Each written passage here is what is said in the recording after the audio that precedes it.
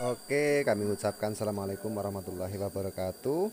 Selamat pagi, selamat siang, selamat sore, selamat malam Bagi yang pemirsa ya Saya ucapkan selamat pagi, selamat siang, selamat sore. Nah, di sini ada gambar TV terbalik ya Jadi kepalanya di bawah.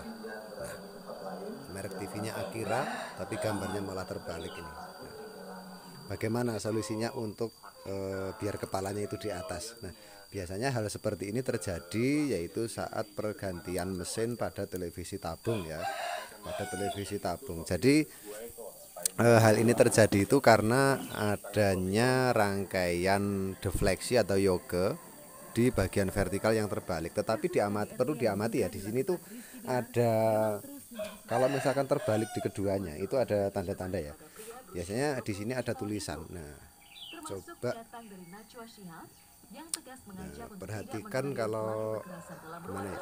Tapi lagi-lagi pengacara Rizky Bilar memiliki Nah, kalau ini kan sudah jelas kepalanya terbalik. Nah, nanti tulisan itu terbalik juga atau enggak? Nanti ya kalau misalkan sekarang diubah untuk kepalanya dibalik di atas ya.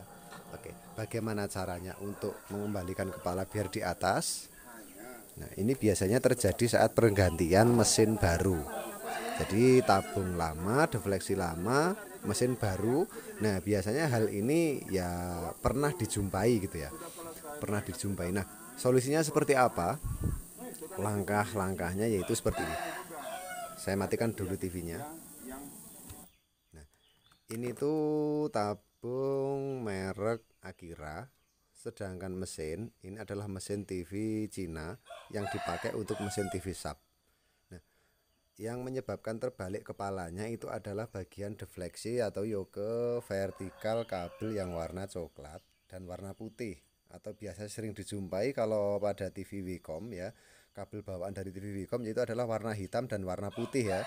Nah biasanya ini terbalik pemasangan di sini. Nah, karena ini masih bawaan dari pabriknya ya. Bawaan dari pabriknya bahwa di sini adalah hitam dan di sini yang berwarna putih. Nah ini warna putih ya ini sebenarnya warna putih cuma karena sudah kotor jadi ini warnanya sudah menjadi abu-abu. Nah yang ini warna hitam yang ini warna putih. Nah, oke ini akan saya balik ya saya balik. Jadi kan tadi kepalanya terbalik. Nah, bentar ya saya posisikan HP-nya terlebih dahulu biar enak. Iya ini. Iya HP ini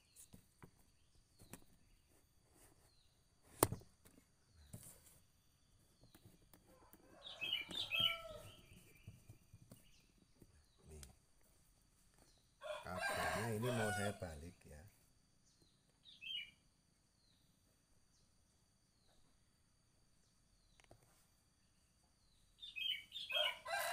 Ini kabel yang warna coklat ini mau saya putus ya. Langsung saya putus jeleng terus kabel yang warna putih ini juga saya putus. Nah yang putih ini dibalik ke warna yang coklat tadi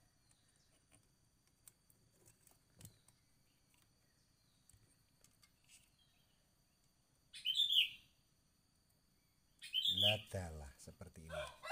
Cuma dibalik seperti ini. Cuma dibalik seperti ini ya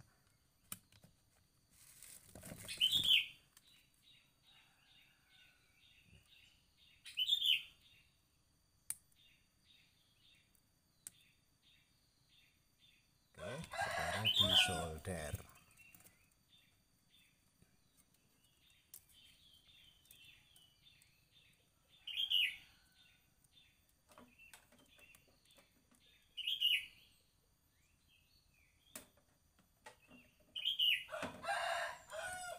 biasanya ini di tenol agak susah kalau tidak dikupas sedikit gini.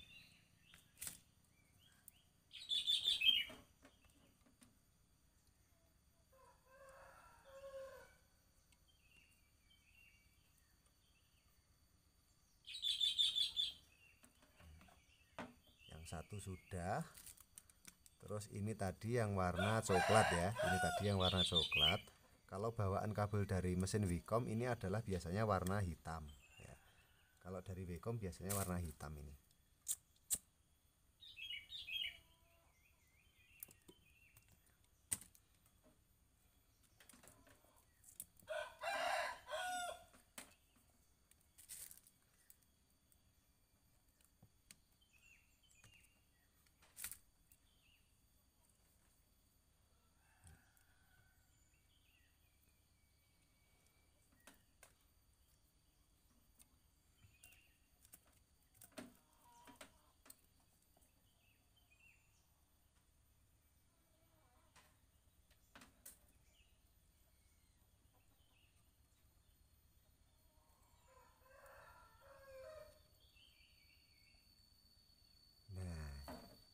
sudah ya.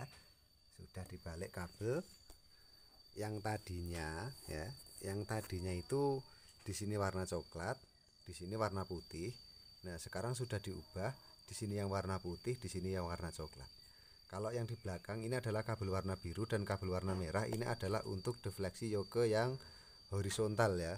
Jadi nanti diperhatikan untuk tulisan. Kalau tulisan itu masih terbalik misalnya e, Indosiar tetapi cara e, penampilannya itu siar Rais Saido atau apalah itu. Nah, itu berarti kan kebalik yang kabel warna biru dan warna merah.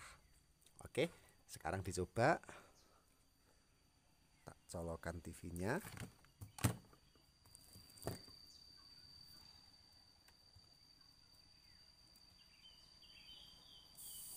Ya, sudah menyala.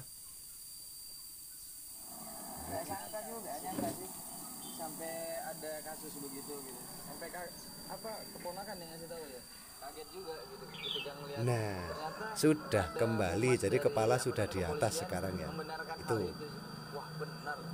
Jadi solusi untuk eh, kepala terbalik itu sangatlah mudah karena cuma kebalik pemasangan kabel ya.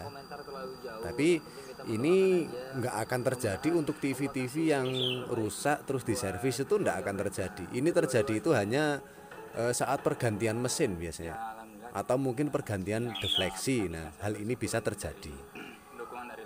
Oke, terima kasih bagi yang sudah menyimak ya. Terima kasih bagi yang sudah menyimak. Nah, ini adalah mesin Vicom. Mesinnya seperti ini.